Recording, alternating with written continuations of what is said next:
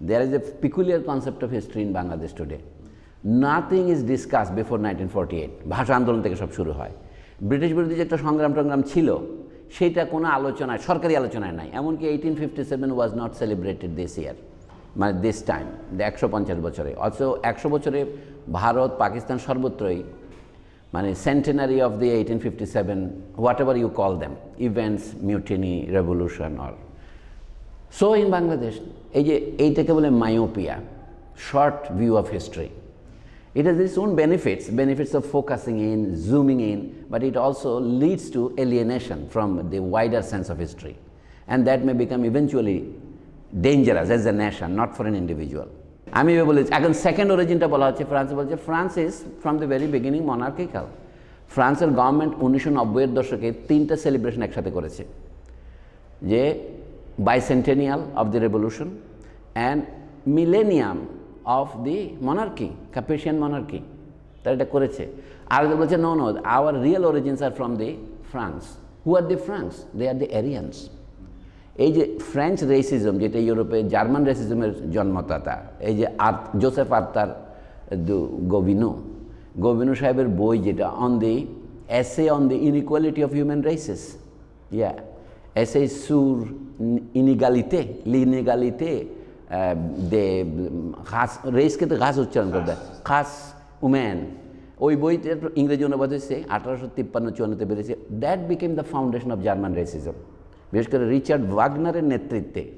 So they think that they Aryans are the best white race of the people এখন এই যে তিনটা যে ঘটনা ফ্রান্সে করছে মানে সমস্যা হচ্ছে France is France frankly speaking humanist or racist আমার কাছে racism is the antithesis of humanism humanism means all human beings whoever they are whoever speak any language whatsoever they are humans কিন্তু ওরা বলছে no those who are Aryan white blood or European speakers they are superior way superior সেটা জওয়াহরলাল নেহরু লিখছে এগুলো মানে তাদেরকে উদ্ধৃত করে। ইংল্যান্ডে এটা কিন্তু কমন সেন্স ফ্রান্সও এখন কমন সেন্স যে the France are the original Aryans তখন গোবিন্দ সাহেব কী লিখছে? Since 1000 years they have been intermarrying with other races even other europeans slavics and others that is the reason for miscegenation and degradation of the french race that is why the monarchy was overthrown in আর 1789 এই যে সেলটিকদের তুলনায় ফ্রাঙ্কদেরকে এরিয়ান বলছে দুজনেই তো Indo Indo European Right. সেলটিকরা Frank Right. এইটার সূত্রটা কি এটার বেসটা কি আচ্ছা জওয়াহরলাল নেহরু একটা সুন্দর উদ্ধৃতি দিয়েছে সেটা বলছে কি জানেন বলে কি লে ন্যাগ কোমস আ কালে কথা তাৎপর্য বুঝেছেন? লেনেক comes কোমস a Calais the negroes begin from কালে পাদু কালে যে বলেন অর্থাৎ ফ্রেঞ্চদেরকেও নিগ্রো বলে ইংল্যান্ডের লোকেরা। আমি রেজিমের প্রকৃতি বলছি। অর্থাৎ যে লে nag comes a Calais the negroes begin from Calais English চ্যানেলের পার থেকে। এই যে নেহেরু বলছেন the British are an insular race এটা নেহেরুর বই থেকে উদ্ধৃতি। and long success and prosperity has made them look down on almost all others. For them, as someone has said, le ne commence à Calais. Uh, but that is too general a statement, Nehru Bulchan. Perhaps the British upper class division of the world would be somewhat as follows. Number one, at the top, Britain, then a long gap. Then number two, the British dominions, white population only. And America, bracketed Anglo-Saxon only, and not Dagos, Wolves, etc. এই শব্দগুলো অর্থ আমি জানি না দাগোজ ওয়াবস এগুলি local গালি slang শব্দ তারপরে বলছে three western Europe Four, rest of Europe. Five, South America, bracketed Latin races. Then a long gap. And then six, the brown, yellow, and black races of Asia and Africa. All hunched up, more or less, together. Nehru বলছেন, how far we of the last of these six classes are from the heights where our rulers live. So আমি যে ইতিহাস যে মজা করার কথা বলছেন if people take an active interest in what is happening in France today এই জন্য আমার মনে হয় প্রথমে we should have a review of the situation of the French speaking countries today তো সেই যেমন ফ্রান্সে যে ফুলার অ্যাফেয়ার ফুলা মানে হচ্ছে বোরকা মানে স্কার্ফ অ্যাফেয়ার আর কি লে ফুলার তো এইটা নিয়ে দু একটা প্রবন্ধ আমি আগে পড়েছিলাম। তো দেখি যে এখানে ইতিহাসে যে আমরা কেন why do you begin from আপনি যে বইটা রেকমেন্ড করেছেন আমাকে ওই যে বার্থের বই তো সেটা তো দেখে যে শুরু করছে এভাবেই। ওই যে ক্যালসকে তারা শুরু করেছে Celt and then গলোয়া and then the Frank. The, the true origin of France, according to them, is Clovis's conversion to Catholic version of Christianity. Before they got converted to another variety of Christianity, যেটাকে Arianism বলে তারা। এটা আর্যদের এরিয়ান না আরেকজন নবীন এরিয়ান so আমি this is the starting point আর কি। মানে three starting points of France I read this in a book published by French external ministry ministry অ্যাটনরে তারা বলতেছে আমাদের তিনটা অরিজিন আমরা একসাথে পালন করব। We are Christian Catholics so our beginning should be enumerated with Clovis Clovis. আবার হচ্ছে we are a monarchical nation so the true foundation of the monarchy is the উগু Capetian monarchy আর ওই ম্যারোভিঞ্জন ক্যারোলিঞ্জন এগুলো হচ্ছে ইয়ের লোক, আপনার ক্লোবিসের লোক, তার বক্তব্য হলো। ওরাও ফ্রেঞ্চ কিন্তু now proper French is with monarchy তো revolution according to Gobineau is a degeneration from the R deviation from the French high tradition আর আধুনিক যারা আছে রেভলিউশনারি তারা বলছে the France truly begins with the eighteen century with enlightenment লুমিয়ে. হ্যাঁ ওই যে আছে ইলিউমিনেশন না তা এখন বলছি বর্তমান ফ্রান্সটা হচ্ছে কি ইট ইজ এ ম্যালেডি আমি বলব অর্থে যে তিনটা জিনিসের সহাবস্থান আছে। এটাকে বলা যেতে পারে খিচুড়ি বলতে পারে। একটা হচ্ছে কি what is the identity true identity of France তো অ্যাকর্ডিং টু দ্য কনজারভেটিভস যারা ওই আট উনিশশো ছিয়ানব্বই সনে ওই পালন করেছে ক্লোবিসের কনভার্সনের পনেরোশো বছর four ninety six to nineteen ninety six তাদের মতে France is truly Catholic. It has always been Catholic, now it is also Catholic, despite all the penumbra. দু নম্বর বক্তব্য হচ্ছে no no Catholicism is not the most important thing most important thing is the unification of all these heterogeneous small princely states into one France. Unification of France, emergence of France in the Middle Ages, তারা বলে এটাকে nine eighty seven. মানে আমাদের এখানে চর্যাপদ যখন চলছে সেই সময় আর কি। এক হাজার সনের একটু আগে। তখন আরেকটা ঘটনা ঘটছে, সেটা তারা আলোচনা করে না। সেটা হচ্ছে কি division of Catholicism from orthodoxy Russian and Bulgarian church যেটা গ্রিক অর্থোডক্স আর রোমান অর্থোডক্স তো France has always been the elder sister of the church তো France has an ambiguous relationship with both Italian Spain কিন্তু together they are southern Europe France একসময় কিন্তু নিজস্ব পোপও ছিল ওদের। হ্যাঁ। অল্প ভাগ হয়ে গেল হ্যাঁ, এই- পাপাসি। হ্যাঁ, just- ফ্রান্সও একটা পোপ ছিল আর ভ্যাটিকানে একটা পোপ ছিল। মানে প্রথম দিকটা হলো ধর্মীয় ভিত্তিতে দ্বিতীয় দিকটা হলো রাজনৈতিক ভিত্তিতে। হ্যাঁ রাজনীতি মানে মনার্কের ভিত্তিতে। মনার্কের গুরুত্বপূর্ণ পয়েন্ট হচ্ছে কি it is the true starting point because before there were sixty different small states feudal state so but they were of Frankish origin but they were not united in fact the উগু Capet was a minor chieftain in northern France Paris এলাকার ছিল তার ভিত্তি, ওই Brittany পর্যন্ত। So how he was chosen as the chief of all of France is the point in question here আমি খুব generalise করে বলছি আর কি from nine eighty seven he died shortly after around thousand one then the continuation of that monarchical tradition lasted up to seventeen eighty nine or seventeen ninety two মানে যে দুটোর নাম আমরা কাপের আগে পাই ম্যারোভিঞ্জিয়ান অ্যান্ড ক্যারোলিঞ্জিয়ান এটা হলো কাপেশিয়ান বলে তবে তাদের বিভিন্ন শাখা আছে। শেষে যেটা ক্ষমতা ছিল উপশাখা বুর্ব বুর্বকে প্রতিদ্বন্দ্বিতা করে যিনি ক্ষমতায় আসছিলেন তারা হচ্ছে অর্লিয়ানিস দুই গ্রুপ ছিল। তো যা হোক, এই জিনিসটাকে তারা ফ্রান্সের পরিচয়ের আসল সূত্র মনে করে। অর্থাৎ France begins with the unity of France achievement of France that is true it is the story of formation of modern national state Rabindranath Thakur যে প্রবন্ধটা অনুবাদ করে মন্তব্য করেছিলেন প্রবন্ধের নামটা খুব ইন্টারেস্টিং উনিশশো একের দিকে রবীন্দ্রনাথ লিখেছিলেন, এটার নাম ন্যাশন কি? তার আত্মপরিচয় গ্রন্থে আছে। ওখানে তিনি শুরু করছেন ফরাসি ভাবুক রেনা বলেন। উনা, উনি ন্যাশন লিখেছেন, কাজে আমি ন্যাশন লিখব। কারণ বাংলায় জাতি বলতে হাঁড়ি, ডোম ইত্যাদি বোঝায়। বাংলায় জাতি বলতে খারাপ জিনিস বোঝায়, কাজে আমি ন্যাশনটাই রাখব। রবীন্দ্রনাথ চার পৃষ্ঠার প্রবন্ধটা লিখছেন। রেনার প্রবন্ধটা ক্যাস কিউ উন এই প্রবন্ধটা আঠারোশো বিরাশির দিকে লেখা। Twenty years later Rabindranath comments on it Saying that in order to understand what is a nation or in order to understand Rena's essay, I need some footnote. So my essay is a footnote. এভাবে উনি বললেন উনি বললেন যে আমরা সবাই মিলেছি but we the French have become France by means of this history of living together same aspiration same অর্থাৎ it is neither blood প্রতিমনি বলছেন neither language O nothing but some kind of will which makes you a nation এটা হচ্ছে তার ultimate idealist theory But the question is, what is will? The will has to be expressed in some অনেকে বলছে religion is that form Renan কিন্তু একটু খ্রিস্ট ধর্ম বিশেষজ্ঞ ছিলেন। লাইফ অফ জিসাস ক্রাইস্ট এগুলি লিখে তিনি বিখ্যাত হয়েছেন স্কলার হিসেবে। He had a reputation of being a scholar on Semitic languages and religions তো রেনা সাহেবের যে মতবাদ তার বিরুদ্ধে যিনি লিখছিলেন সে হচ্ছে গোবিনু। গোবিনুর জন্ম আঠারোশো ষোলোতে মারা গেছে আঠারোশো বিরাশিতে। মানে he is an exact contemporary of Karl Marx but he is now considered the founder of, theoretical founder of European racism. Arthur Gobineau তার পুরো নাম হচ্ছে জোসেফ আর্থার দু গোবি- গোবিনো ওর থেসিসটা হচ্ছে কি রুসুর বিপরীত। রুসু বলছে origins of equality among mankind মানে ইনইকুয়ালিটি কী করে হলো? রুসু বলছেন আসলে মানুষ জন্ম তো সবাই ইকুয়াল ছিল বিভিন্ন কারণে আমরা ইনইকুয়াল হয়েছি। উনি বলছেন যে মানুষ তো জন্ম থেকেই আনইকুয়াল এবং চিরকালে আনইকুয়ালই থাকবে। ওর থিসিসের একটা নামটা আপনাকে আমি ফ্রেঞ্চেই বলি এখানে তার বইটা আপনিও জোগাড় করতে পারেন আমাদের লাইব্রেরির জন্য। এটা ইংরেজি অনুবাদ আমি আগে পড়েছি। আচ্ছা আমি একটু পড়ি স্যার তাহলে আপনি শুনেন। যে জোসেফ আখতুক আপনার আখতুক আর কি দু গোবিনো।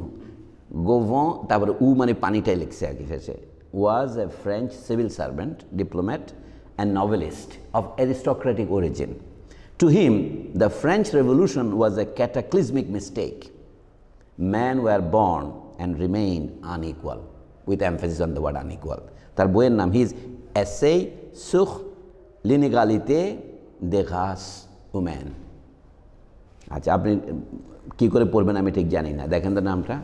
উচ্চারণ ঠিক হচ্ছে কিনা? এই যে বইয়ের নামটা আছে এখানে দেখেন।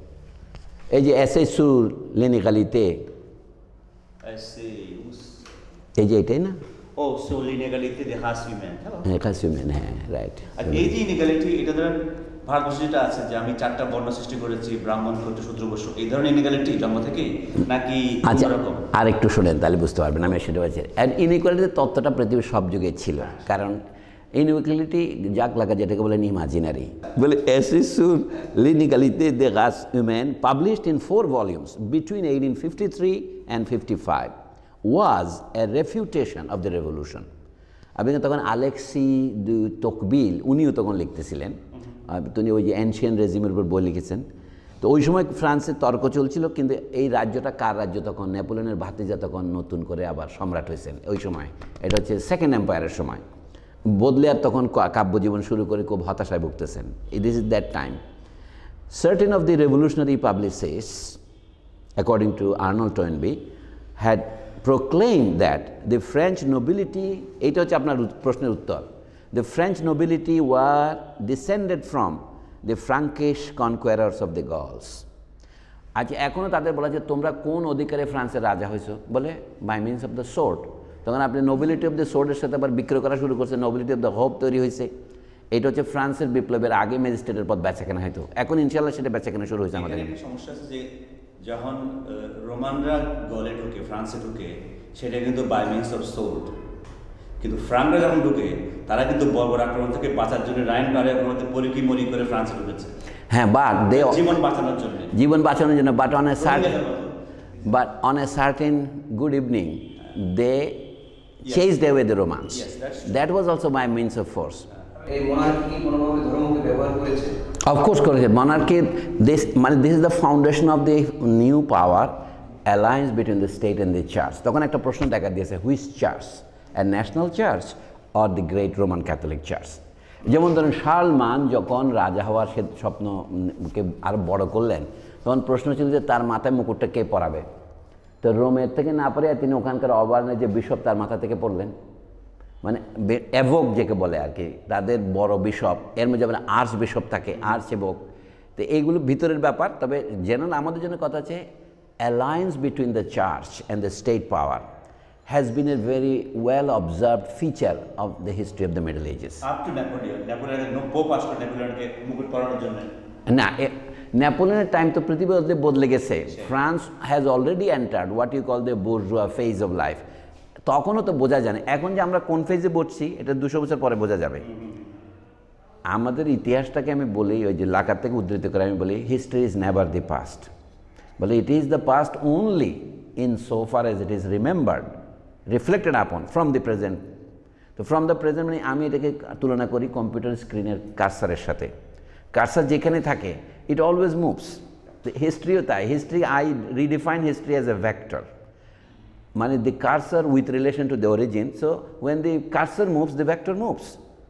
So history is always in a kind of tension, in a state of tension between the present and the past.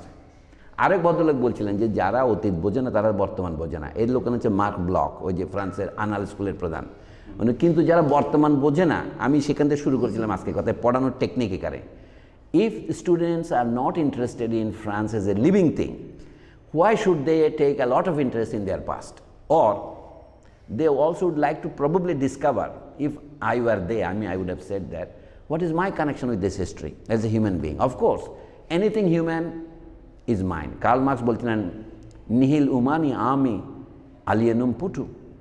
Nothing human is alien to me. That is at the most abstract level. But people do not live by the abstract level. They live as concrete human beings তো আমি চাইব যে আমার, আমি চাই কি আমি ফ্রান্সে যাইতে পারব কিনা? শিশের মতো ফরাসি বলতে পারব কিনা? প্রত্যেকের নিজস্ব আগ্রহ থাকে।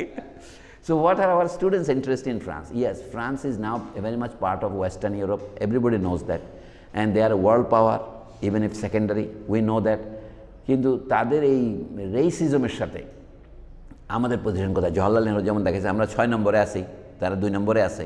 ওয়েস্টার্ন ইউরোপে এই সমস্ত জিনিস যদি পাবলিককে একটু আগ্রহী করা যায় মানে Roman গলোয়া Celtic and so on and so forth তাহলে প্রেজেন্টে ফ্রান্সের যে অরিজিন এবং তার যে ইমপ্লিকেশনস ফর গ্লোবাল একটা ধরুন ধরেন nineteen century throughout it was a victory of colonialism everywhere superiority of the white races was normal even Frederick অ্যাঙ্গেলসের মতো প্রোগ্রেসিভ সোশ্যালিস্ট লোকও বলছে যে ফ্রান্স যে আলজেরিয়া জয় করবে তো ভালো মানব জাতির জন্য ভালো। Civilization of this uncivil races. This is not always true but at that time it appeared as true আমি চাই এই জিনিসগুলো ফ্রান্স যদি আমরা মনে করি যে কি, ফ্রান্স আরেক আমাদের পাশের দেশ, বার্মার মতো আরেকটা দেশ, আমি যে methodologically will be wrong we must locate France or place France in its proper place it is a former colonial power সেই জন্য তারা আন্নামিজ ভাষায় আগ্রহ নিয়েছে। Sylvain Levi wrote his original dissertation in eighteen ninety five on classical Indian theatre ভারতীয় নাটককে ইউরোপে যারা জনপ্রিয় করেছে এর আগে একশো বছর আগে করেছে স্যার উইলিয়াম জোন্স আর ইনি একশো বছর পরে এটার থিওরিটিক্যাল ব্যাখ্যা লিখেছেন।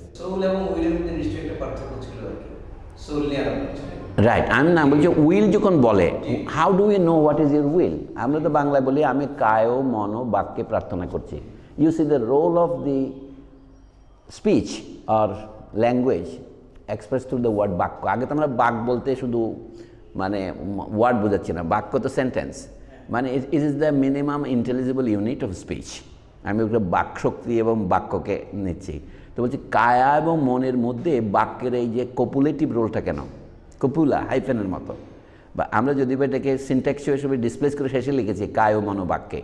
লাকা সাহেবের লেখাতে আমি একই প্রায় পড়ি। তো সেখানে দেখলাম যে মানুষের মন গড়ে ওঠার ক্ষেত্রে প্রথমে যেটা ভূমিকা থাকে সেটা ছবির। Children first identify with a picture যেমন যে শিশুর বয়স, উনি বলছেন মোটর কোঅর্ডিনেশন হয়নি, ছয় মাস। তাকে যদি আপনি কোলে নেন, আয়নার সামনে দাঁড়ান, সে ধরতে চায় ছবিটা। It has been repeatedly seen in many experiments of child psychology এবং ওই বয়সে মানব শিশুর পাশাপাশি শিম্পাঞ্জি শিশু কী করে, এটাও পরীক্ষা করেছে তারা। মানুষের বয়সটা সে শীঘ্রই এই পর্যায়টা অতিক্রম করে। বানর শিশু অত দ্রুত অতিক্রম করে না। মানে মানে where does the chimpanzee child fall short of acquiring language whereas the human চাইল্ড্রেনের বাক ফোটে কেন? প্রথমে যে রোলটা হয় সেটা ছবির। It is your image that makes you in reverse যদি আপনাকে বলা হয় যে ফ্রান্সের ইতিহাসের একটা সিলেবাস বাংলাদেশের জন্য এখানে আপনি কি কি আপনাকে পড়াতেই কি বাদ দিলে চলে? আচ্ছা আমি যে প্রথম কথা হলো প্রত্যেক দুনিয়ার ইতিহাস যখন পড়াই তিন ভাগে ভাগ করি। এটা কমন ভাগ আধুনিক মধ্যযুগ প্রাচীন যুগ। ভারতে আমরা তাই করেছি করেছি। কিন্তু ফ্রান্সে মজা হচ্ছে কি? ফ্রান্সে কোনো প্রাচীন যুগ নাই। In the sense of one we say antiquity ইউরোপের কন্টেক্সে বললাম আমরা অ্যান্টিকুইটি বলতে গ্রিক অ্যান্টিকুইটি বুঝি রোমান অ্যান্টিকুইটি বলি। France is post Greek as a civilization যেমন first visible discernible French city of whatsoever standard is Marseille founded no more than 600 years before Christ. So তার বয়স দুই হাজার ছয়শো বছর। এর আগে ফ্রান্সে গুহাগুলি পাওয়া গেছে। সেগুলোর বয়স অনুমান করছি আমরা বিশ হাজার বছর, সতেরো হাজার বছর। সেটাকে ট্র্যাডিশনালি প্রি হিস্ট্রি বলা হয়। এখন আপনাকে সিদ্ধান্ত নিতে হবে would you like to introduce prehistory so call archaeological history you can যেমন ভারতীয় ইতিহাস পড়ার সময় এখন আমরা মেহেরগড়ে চলে যাচ্ছি, বালুচিস্তানে। আমরা হরপ্পা মঞ্জুদর চলে যাচ্ছি। এর আগে সবাই বলতো কি, আর্য সভ্যতা থেকে ভারতের সভ্যতা শুরু। Before the discovery of Mohenjodaro and Harappa only nineteen twenty five এই রাখালদার বন্দ্যোপাধ্যায় খনন করে এটা বাইর করছে। এবং সেই দশকে আমাদের এই নলিনীকান্ত ভট্টশালী এটা বাইর করছে, ময়নামতি। এই বের করার আগে আমরা এখনও বাংলার ইতিহাসে এটা কিন্তু ইন্ট্রোডিউস করি নাই। অর্থাৎ এই যে ময়নামতি, এটাকে আমরা বাংলার ইতিহাসে নাই না, এটাকে বাংলার বাইরে ত্রিপুরার ইতিহাসে রেখেছি। এই কারণে বাংলার ইতিহাস শুধু পাল সেন থেকে শুরু করেছে এটা পাল সেনের সাতশো বছর আগেরা আমাদের আর্লিয়েস্ট বংশ হচ্ছে পাল সাতশো পঞ্চাশ খ্রিস্টাব্দ, এটা কিন্তু দুই হাজার বছর আগের। তাহলে গুহাগুলোকে আপনি বাদ দিচ্ছেন এই কারণে যে ওর সঙ্গে কোনো কালচারাল লিনিয়েজ নাই ফ্রান্সে মানে অ্যাটলিস্ট স্টেটেড লিনিয়েজ নাই। তখন যারা ছিল, আরেকটা কথা আমি বলি এখানে honestly the division of territories and naming them after these or that race is a more recent event in the time of glaciers how do distinguish between Spain and France কিন্তু বরফের যুগ শেষ হওয়ার পর, আপনি আজকের যেমন ধরেন ইটালি ফ্রান্স এবং স্পেন পার্থক্য করবেন কীভাবে? প্রকৃতি ছাড়া। না। সেটা তো আরও কমের কথা আমি আগের কথায় যাচ্ছি। যখন প্রথম দেখা গেল কি এই যেটাকে আমরা তুরস্ক বলি এখন আনাদুলু আনাতোলিয়া এটা তো গ্রিক শব্দ মানে পূর্ব দেশ। আনাদুলুতে যখন ওদেরকে তাড়াইলো পুরনো মঙ্গোলিয়ানরা কেউ আসে তখন তাদেরই একটা group this a Greek group তারা গ্রিস ছাড়িয়ে ইটালি ছাড়িয়ে গ্রিস ছাড়িয়ে তারা এসে এই ফ্রান্সের উপকূলে মার্সে শহর প্রথম করে। তো who are they? They were a trading community, and the city was built according to Greek notions. এখন আমরা যে ইউনিট করছি Europe Asia Africa it is a new theory আগে ছিল কি? কান্ট্রিজ অ্যারাউন্ড দ্য মেডিটেরেনিয়ান ফ্রানো ফেরনো ব্রদেল এটাই প্রতিষ্ঠিত করেছেন। টিউনিশিয়া ওয়াজ কার্তেজ ওখান থেকেই আইসিয়া সমুদ্র পাড়িয়া হানিবল রোম আক্রমণ করতে গিয়েছিল। আপনার এই আলস পর্বতের এটা পার হইয়া। তো যা হোক আমার বক্তব্য হলো it is very difficult to distinguish a France আমার প্রথম আপত্তি হচ্ছে এই ফ্রান্স ইতিহাস পড়তে গিয়ে যা শিখতেছি Is it possible to teach the history of a modern nation in ancient times as a modern nation? There is a mutual contradiction. Because things were at that time, আমরা বাংলা বলে একাকার মানে এখন লাকানিয়ান ভাষায় বলি things were real only now symbolically we are separating this is the border of france this is the border of germany আরেকটা মজা কি জার্মানদের যে গল্প ফ্রান্সের অভিজাত শ্রেণির গৌরব কি? আমরা German. That the source source that their pride. For forefathers were all German, but we at that time they were call barbarians. এই যে আলেমান একটা জাতি এখনও আছে আলেমা আলমো আছে। এবং কি ফ্রেঞ্চ ফ্রেঞ্চ ভাষায় কি বলে? এই যে বুর্গুন তো ওই সীমান্তর দেশ এটা। ওটা একটা গোষ্ঠী। হ্যাঁ হ্যাঁ বুর্গু তো এখন সমস্যা হচ্ছে France has become a new nation according to Gobineau is a bad nation. Why did you mix up with others, non-Aryans? Original French were the true French, এবং পরে নানা লোকের সাথে মিশে নিচু জাতের সাথে মিশে নষ্ট হয়ে গেছে। এটা কি নাইনটিন সেঞ্চুরি যে থিসিস ছিল? ঠিক আছে ওটাই অনুসরণ করছিল উনি। আচ্ছা এটা যে কী করে হয়েছে এখন বলি? These ideas were most eagerly absorb ironically not in France but in Germany আচ্ছা বলছে where a Gobineau club was founded with Richard Wagner as its most celebrated member His operas were redolent of legendary Nordic heroism and Aryan glory One of Wagner's daughters married Houston Stuart Chamberlain, the nephew of two Indian army generals who became a naturalized German. Chamberlain তো ইংল্যান্ডের একজন প্রধানমন্ত্রী হয়েছিলেন His book, The Foundations of the 19th Century, published in 1899, emphasized the essential need to enshrine the race within the nation state. আমি বলছি modern nationalist must be an amalgamated result of many race mixing কিন্তু ওরা বলছে let us now purify the race Bharatvarsha এটা এনেছিল স্বামী শ্রদ্ধানন্দরা যাকে হত্যা করা হয়েছিল উনিশশো ছাব্বিশ। উনি বলছিলেন কি শুদ্ধি এবং সংগঠন। আর মুসলমানরা করছে কি তাহাজিব তমুদ্দনের মতো আর কি। এরা আঞ্জুমান করতে লাগল এরা বলবে তাবলিগ ওরা বলে আমরা শুদ্ধি। শুদ্ধি মানে কি let us reconvert the Muslims into Hinduism চলছে তো? চলে। না আমি বলছি এইগুলো হচ্ছে রিয়াক্টিভ মুভমেন্ট তারপরে দেখেছি what did he do he said this wherever India reference দিয়েছে দেখেন এটা কে লিখতেছে চ্যাম্বারলেন সাহেব যিনি জার্মান হয়ে গেছিলেন ন্যাচারালি বিয়ে করে বাগনারের নেফিউ নিসকে বিয়ে করে বলছিলে ডটারকে বিয়ে করে wherever as in India nations are not formed. India is not a nation according to them. Wherever, as in India, nations are not formed, this stock of strength that has been gathered by race decays. Blah, blah, blah. The firm national union fixes the existing bond of blood and impels us to make it ever closer. তো বলছে this was the seedbed from which came Hitler's belief in ব্লুট উন Boden blood and soil. Bluetooth Boden, তারপর বলছে and led to the cry ein Volk, ein Reich, ein Führer. তাহলে প্রাচীনকাল নিয়ে একটা সমস্যা আছে। সুতরাং আমি I am in favour of origins of France when you can recognise France as some kind of a political unit মানে Frankish people built up as many as sixty different chief chieftainship এটা উনষাটও হতে পারে, একষট্টি হতে পারে। তারপরে যখন রোমানরা এশিয়া তাদের দক্ষিণ অংশ প্রথমে কবজা করল, তারপরে সেজারা এসে যখন পুরা দেশটাকে করল ironically the first unity was provided by them তো কাজেই আমরা এই জন্য বলি যে গলিক যে ফ্রান্স অথবা এখন the same people who call them self Celtic the Romans call them no no you are Gallic এর অর্থটা আমি এখনও বুঝে বুঝতে পারি না। নাম হ্যাঁ। আমার একটা প্রশ্ন হচ্ছে how France was named France after the name of the Frankish people but they were not originally Gallic এখন রোমান প্রদেশ হিসেবে তার নাম ছিল গল তার আগে তার নাম কি ছিল? আল্লাহ মালুম। সুতরাং নাম বদলাইতে পারে। তো এখন the question is since when the identity of France begins একটা প্রশ্ন হচ্ছে তার পলিটিক্যাল ইউনিটি তখন থেকে ফ্রান্স ফ্রান্স হ্যাঁ তখন ফ্রান্স তবে তাদেরকে ইউনাইট করেছে কি? একটাই। এর আগে তারা যে বিভিন্ন প্যাগান ধর্মে পেয়ান ধর্ম বিশ্বাস করতো। এখন ওরা তো বারবারিক ছিল এই ক্লোবিসরা তারা যখন খ্রিস্টান হলো তখন that provided a new ideological unity যে আমরা যারা খ্রিস্টান তারাই ক্যাথলিক যারা মানে খ্রিস্টানদের ক্যাথলিক শাখাটা।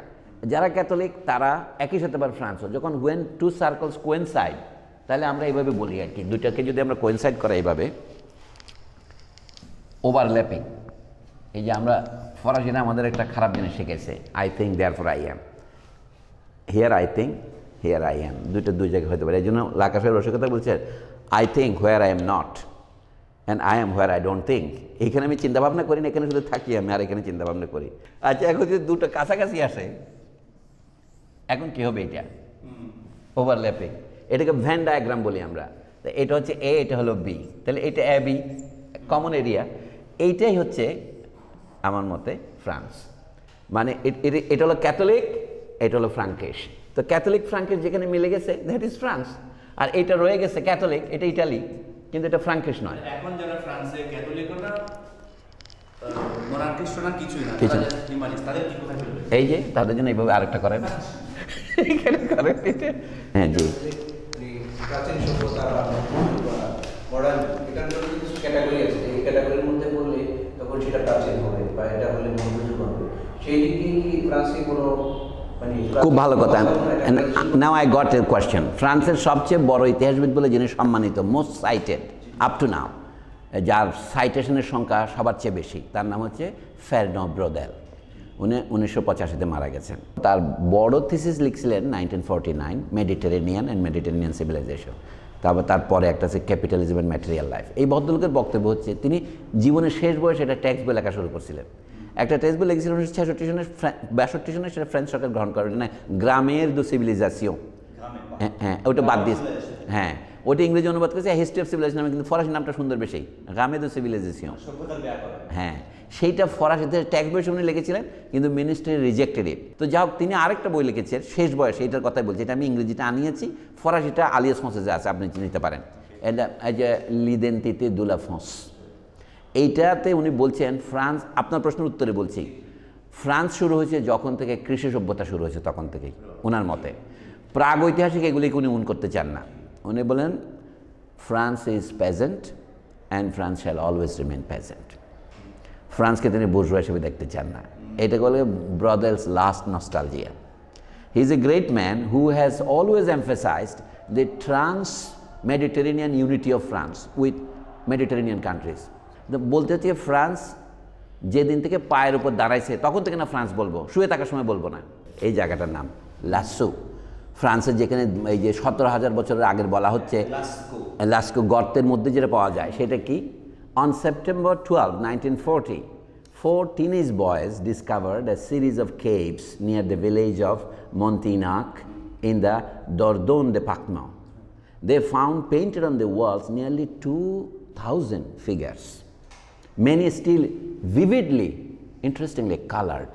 রং নষ্ট হয় নাই তারা এই রং কী করে বের করলো বলছে estimated to have been created some 16,000 years ago. They consist primarily of images of large animals. এখানে ছবিতে আছে এটা কাছে বলছে কি many in realistic poses showing motion আচ্ছা তারপর ফেলাইন্স কুকুর বিড়াল horses, stags, and bison are depicted. Most impressive are four large black bulls, one of which at 17 feet, মানে 5.2 meters, is the largest animal yet found in Cape Art. The level of skill astounds. The ability to employ perspective apparent in the crossed hind legs of the bison in a painting called the crossed bison would not be repeated until the Renaissance. তাহলে এটা কেমন করে তারা করলো এখন আপনি বলছেন কি লাস্কু পড়তে হবে লাস্কো হ্যাঁ Lascaux is one among a number of sites in the Vezere valley of south western France ওই যেটা ভিসিগদ্দের এরিয়া ছিল ওইদিকেই। এখন গাসকন্ডি ট্রান্সকন্ডি কিছু বলে না গাসকোন বলে বোধ হয় না ওইটা that have been discovered providing evidence that this region was probably a major population centre during the upper Palaeolithic uh- আচ্ছা যদি কেউ বলে যে আমি সতেরোশো উনানব্বই থেকে ফ্রান্স হিস্ট্রি শুরু করব তার আগে যা ছিল সেটা হচ্ছে মেল্টিং পটের একটা ব্যাপার. ক্লাস শুরু। ফরাসি বিপ্লব থেকে, তাহলে কেমন হয়? এটা আমি বলছি কি this is so far the idea এখন আমাকে দেখতে হবে ফ্রান্সের পণ্ডিতরা কী করছেন। আমি জর্জ দুবির লেখা ফলো করি। তো জর্জ দুবির বইটা আমি পড়ছি ইস্তোয়াদুল্লা ফ্রান্স দেজ অরিজিন আ নজুর এইটা হচ্ছে জর্জ ডুবির সিলেবাসটা নিয়ে আসছি আমি। উনি কি পড়ান? জর্জ ডুবি মারা গেছেন উনিশশো ছিয়ানব্বইতে he was the last member member number twenty six of the Academie Francaise তো তার যে পাণ্ডিত্য আমি তো তার অন্য বই পড়েছি মিডিয়েবল মিডিয়েবল বিশেষজ্ঞ। আমি একটু সংক্ষেপে আপনার দেয় কী কী পড়াইছেন।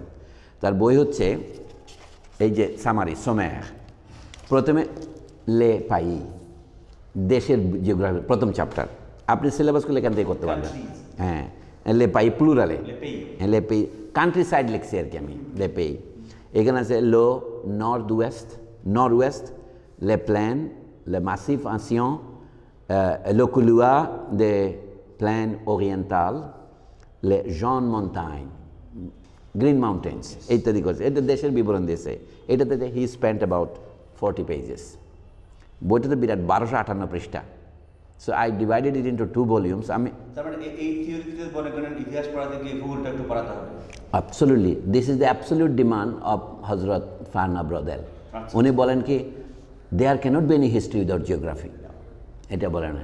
ওনার যে আইডেন্টিটি অফ ফ্রান্স দুই বলি ম্যাম আপনাকে দেবো। দেখে উল্টে উল্টে দেখেন। আপনি পড়বেন কেমনি? আপনি কোন পঞ্চকোট কোথায় জানেন না?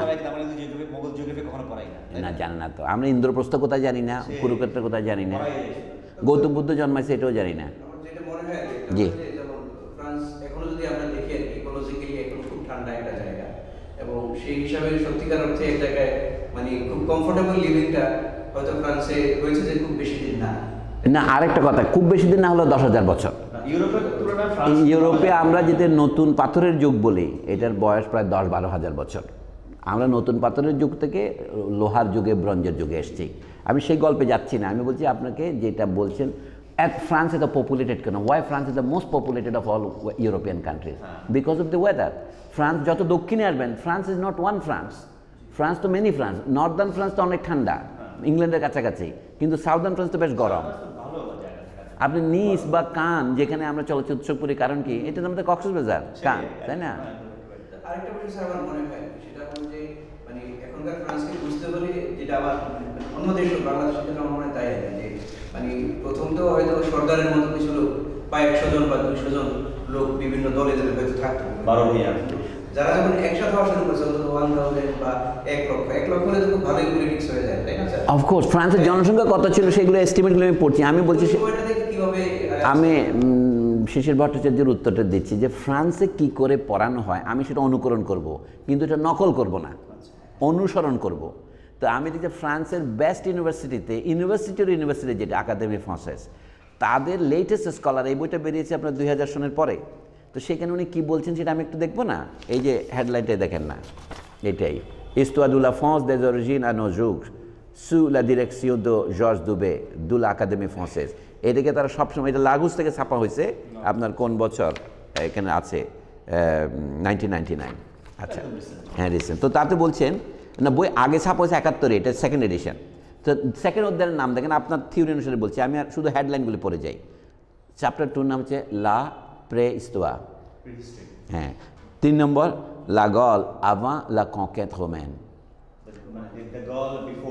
Roman conquest. আচ্ছা চতুর্থ অধ্যায়ের নাম লে গল্ল রোমা গল্ল রোমান্স হ্যাঁ এটা লিখছে মার্সেল লোক্লে। এক একজন এক একটা চ্যাপ্টার লিখছে পাঁচ নম্বর হচ্ছে লে মিগ্রাসিয়ন বারবার তারপরে কি? কাতিয়াম আ সেঙ্কিয়াম সিয়াক্ল চতুর্থ এবং পঞ্চম শতক।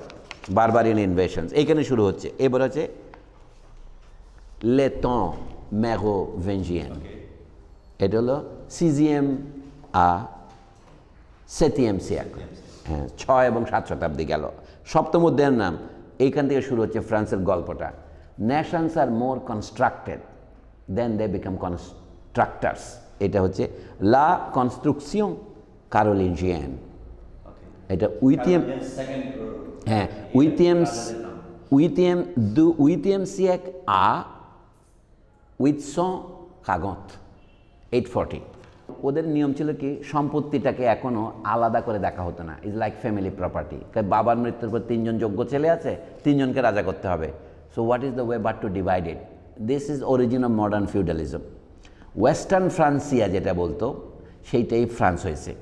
ইস্টার্ন ফ্রান্স এটা জার্মান হয়েছে মাঝখানে তিনটা ভাগ করা হয়েছিল। সেটা তো ওয়েল নোন স্টোরি অষ্টম অধ্যায় কি? লে দেখনিয়ের জেভাসিও Last invasion. এই তো। গ্রিকে খো এই যীশু খ্রিস্ট লিখে এটা আমাদের জ্যোতিষে ব্যবহার করা হয়। হ্যাঁ ওইটা তো ওই হোরা স্যার। এটা তো আওয়ার। হ্যাঁ। আওয়ার যেখান থেকে আসছে। লক যে বলি ফরাসিরা কেন না? হ্যাঁ এটা মানে হচ্ছে মাটি। মাটি। হ্যাঁ তো মাটির পাত্রকে আমরা খোরা বলি চট্টগ্রামে এই যে খোরা। এবং খোরা বলে দেন সেটা খোরাক হয়। এক পাত খাবেন আপনি। আচ্ছা আচ্ছা। মানে এই কোথা থেকে আসলো? থানা যে বলেন আপনি এটা থানা টোর সাথে যোগাযোগ আছে খেয়াল করছেন? থানা হ্যাঁ, এখন তো থানা কিন্তু থানা টোর এই থানা মানে তো মৃত্যুর দেবতা গ্রিকদের। আচ্ছা। তো সুতরাং থানা যে ভালো জায়গা নয় এটা বুঝতেই পারেন। খুন খারাপের জায়গা। আচ্ছা যাও আরেকটা চ্যাপ্টারের নাম বলি। এখন আসলো জর্জ দুবিন করল ওকে? আচ্ছা এটা হচ্ছে হ্যাঁ, না এটা হচ্ছে এর মধ্যে প্রধান হচ্ছে নরমানরা। ও আচ্ছা আচ্ছা। উপর দিক থেকে আসলো আচ্ছা আচ্ছা, ঠিক আছে তারপর এইখানে যাদের সাথে হলো যেমন লেগলিস খোয়া ও লাইক এই যে লাইসিজম কথাটা এখন আসতেছে লেম্যান অ্যান্ড ক্লার্জিম্যান। আমি সেটাতে যাওয়ার আগে আর কি আরেকটা নাম দিয়েছে লে ফিউদো। জমিদার। এটা হচ্ছে নবশো কাদবন আ মিল সোয়াশট ক্যান্স পঁচাত্তর। এইটা গেল। এর বাকিটা হলো এই শব্দের অর্থ আমি শিখেছিলাম এখন ভুলে গেছি। লেসোর। হ্যাঁ লেসর। উত্থান। হ্যাঁ। লেস লেসর দা দুজিয়াম সিয়াক দুজিয়াম এটা দুজিয়াম আর দুজিয়াম কোন কোন কোন দ্বাদশ আর দুইয়ের মধ্যে আমি করি। দুজিয়াম। পারি না। দুজিয়াম হ্যাঁ। আচ্ছা। আচ্ছা এগারো নম্বর চ্যাপ্টার হচ্ছে লা সন্তেজ কাপেতিয়ান কাপেশিয়ান হবে উচ্চারণ না? কাপেশিয়ান হ্যাঁ লা সন্তেজ সিনথেসিস হবে আর কি। হ্যাঁ সেন্টেন্স হবে উচ্চারণ সিমটমকে সামটম কি একটা বলে? সাম্পল হ্যাঁ সিম্পলকে সাম্পল বলে না? আচ্ছা লো গ্রান্ড রয়ুম গ্রেট কিংডম এটা হলো বারোশো সত্তর থেকে তেরোশো আটচল্লিশ। এই হচ্ছে তার ইতিহাসের প্রথম পার্ট এখন তেরো চ্যাপ্টার হচ্ছে লো মলহ দুতম আনহ্যাপিনেস অফ দ্য টাইমস দেতম লিখছে এখানে। প্লুরাল প্লুরাল তো হ্যাঁ টাইমস আচ্ছা এরপরে হলো লা হ্যাঁ la এটা হলো চোদ্দোশো চল্লিশ থেকে পনেরোশো পনেরো। এরপরে পনেরো হচ্ছে হনেসন্স এ Renaissance. অ্যান্ড দিস কদ হলিজিউস গ্যালিজিউস উচ্চারণ। আমি জানি না ফরাসিতে র্যাপ ছাড়াও কোথাও গ্যার মতো উচ্চারণ হয় কোথাও অ উচ্চারণ হয়?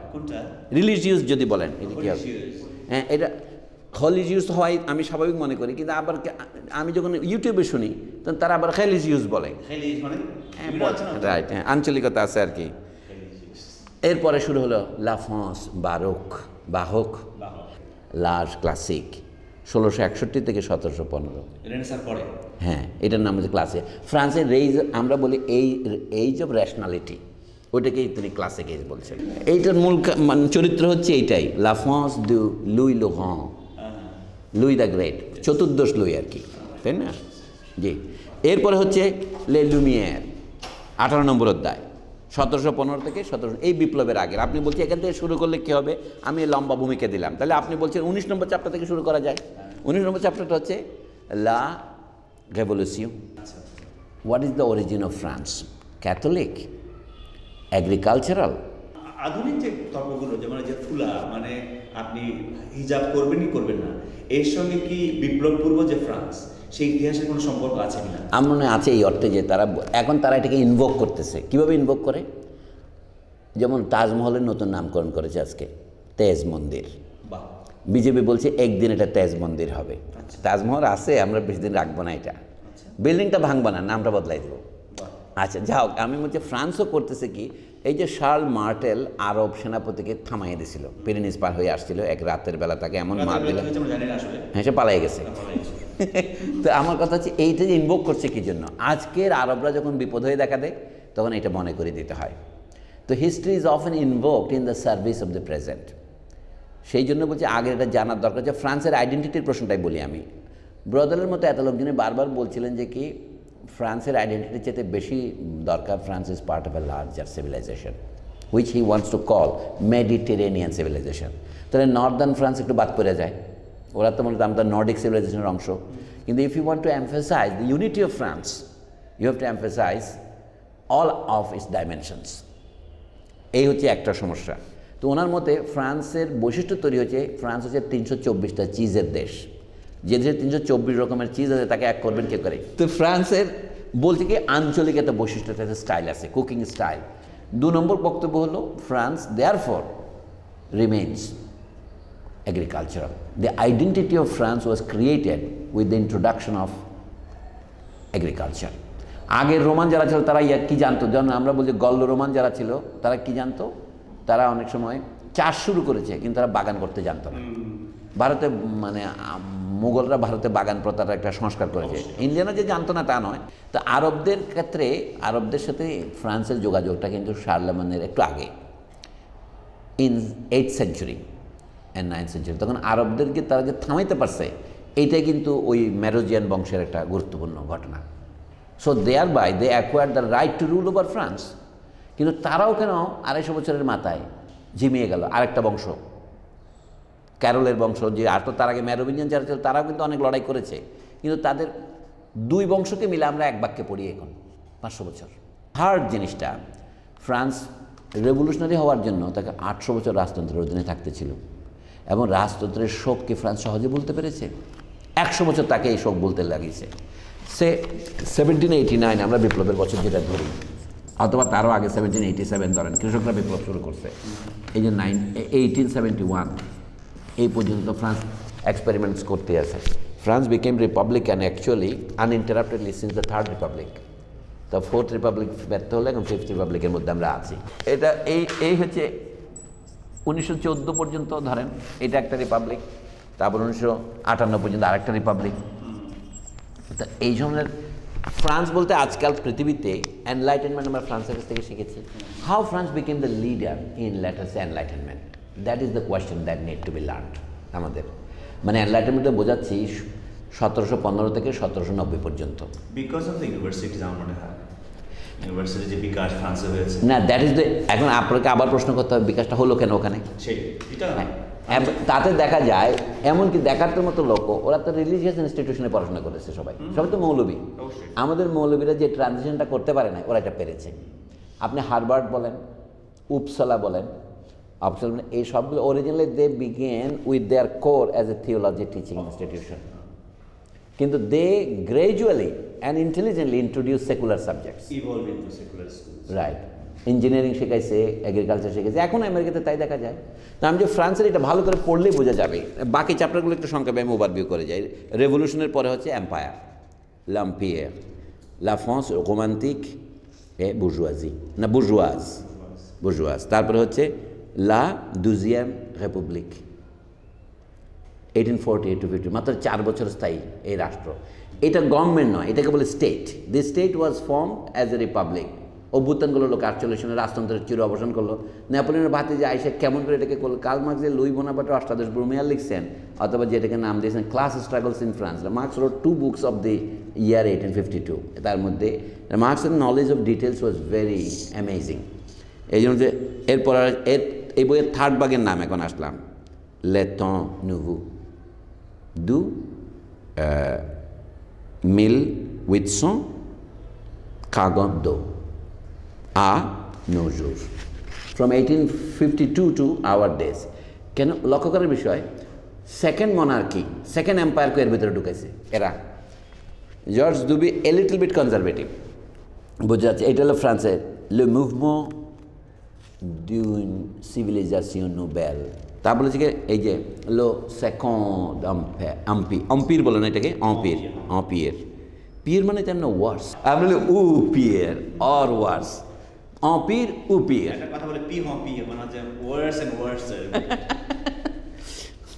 তা বলে যে মানে আমি তো সাউন্ডটা শুনতে চেষ্টা করি আর কি আচ্ছা লো তোয়াজিয়াম republic up to nineteen fourteen তারপরে হচ্ছে le ouverture des connaissances et les mutations culturelles. আচ্ছা আরেকটা প্রশ্ন আমি আপনার ঠিক করতে হবে, যে ওরা নিজেরা বলছে আমরা ফ্রাঙ্ক আমরা এরিয়ান গর্ববোধ করছে।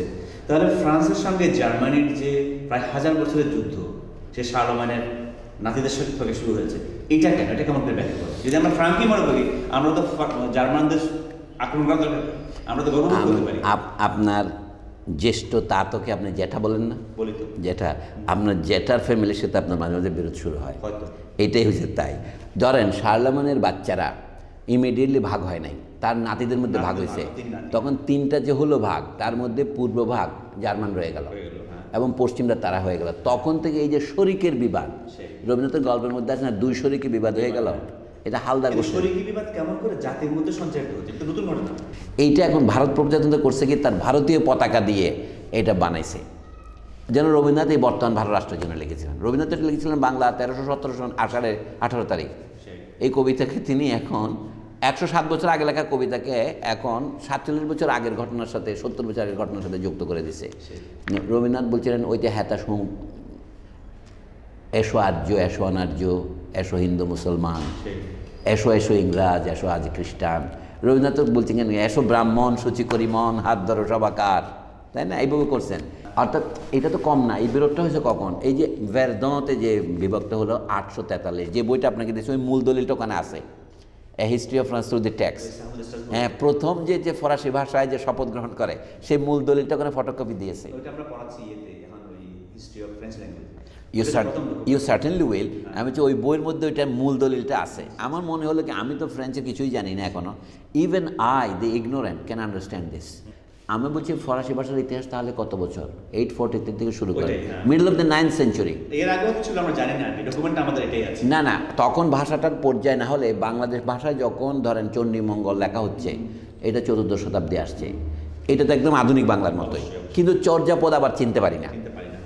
তার মানে কি ওই সময় ট্রানজিশনটা হয়েছে। The difference is about hundred couple of hundred years তো এই জন্য বলছি যে ফরাসি ভাষা যে বিকশিত হতে হতে যে পর্যায়ে উঠল সেই পর্যায়টার কথা আমি বলছি। সেইখানে আমরা বললাম যে এখন তারা ঘরে ঘরে ভাগ হয়ে গেছে। এখন শুধু লেটিনে শপথ না নিয়ে আমি ফ্রেঞ্চেও নেব। দুইটা নিয়েছিল একটা হচ্ছে জার্মানিক ফ্রেঞ্চ একটা ফ্রান্সের ফ্রেঞ্চ তার মানে আমি যে আপনি যে ভাগটা খুঁজতেছেন এটা কোথা থেকে হলো? ওদের তখনও ল অফ প্রিমোজেনিচার ছিল না। জ্যেষ্ঠ অধিকার নীতি ছিল না। পুত্রদের মধ্যে ভাগ করে দিতে হবে। যখন ফ্রান্সে এই যৌথস্বাধিকার প্রথা প্রতিষ্ঠিত হয়নি এটা হচ্ছে পরে হচ্ছে। আপনার যে ফ্যামিলিগুলো আমরা পরে দেখব সেগুলোই। তো লাস্ট চ্যাপ্টারে আসে স্যার। শেষ হয়ে গেল গল্প কালচারাল মিউটেশনের পর। এখন আসল গল্প শুরু এত বছর পরে দ্বিতীয় প্রথম মহাযুদ্ধ যে হলো এই যুদ্ধের আসল নায়ক তো ইংল্যান্ড এবং জার্মানি। তারা তো আত্মীয় তাদের একজন সাথে একজন বিয়ে আছে। হ্যাঁ কিন্তু ফ্রান্স ইংল্যান্ডের পক্ষে যোগ দিল। এতদিন আমরা ইতিহাসে জানি একশো বছর যুদ্ধ হয়েছে ইংল্যান্ড আর ফ্রান্সে। তার মানে বলছে ইতিহাস আমাদের গাইড কিন্তু ইতিহাসের দাস হওয়া চলবে না। চিরকাল একরকম চলবে না। England and France for many wars এই যে ইংল্যান্ডে এই প্রবাদ তৈরি হয়েছে লে ন্যাগ কোমস আকালে এটা ওই রেসিজমের প্রকাশ না? ফ্রান্সকে ছোট করার জন্য বলছে। তো ফ্রান্স আর ইংল্যান্ডের মধ্যে একটা দীর্ঘ প্রতিদ্বন্দ্বী ছিল নাহলে এত জন দা আর্ক কেন?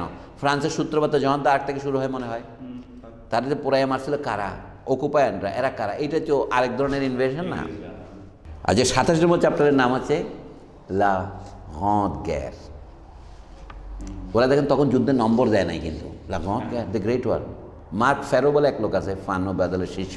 উনি গেলেছে দ্য গ্রেট ওয়ার দ্বিতীয় যুদ্ধ যখন শুরু হলো তার আগে বলতে হয় কি? ল অঁত দো গ্যার। অঁত দো গ্যার। দোকে entre deux তারপরে হচ্ছে লা France dans la seconde guerre mondiale এখন মন্ডিয়াল কথাটা আসলো। লা সেকেন্ড guerre mondiale second world war. Second first ওয়ারে কিন্তু ফার্স্ট ওয়ার লেখে নাই। la grande guerre histoire récente de l'économie et de la socia- euh, société française 45 to eighty. এটা হলো তিরিশ নম্বর চ্যাপ্টার। রিসেন্ট হিস্ট্রি এখানে ইকোনমিক অ্যান্ড সোসাইটিতে নিয়ে আসছে? একত্রিশ নম্বর কি? লেজ ইনস্টিটিউশন এ লা ভি পলিটিক। দু এই যে কাগজ স্যাঙ্ক আ কাত হ্যাঁ তারপরে হচ্ছে এক্সপ্রেসিও এ ডিফিউশন দু লা কুলতুর দু একই period forty five to eighty এখানে এইটিতে শেষ করছে লেখা আর কি। লো দেখনিয়ে কাত দু সিয়াক কাত দু সিয়াক হ্যাঁ শেষ পঁচিশ বছর। হ্যাঁ শেষ কোয়ার্টার উনিশশো পঁচাত্তর থেকে আমাদের সময়। এটা দিয়ে শেষ।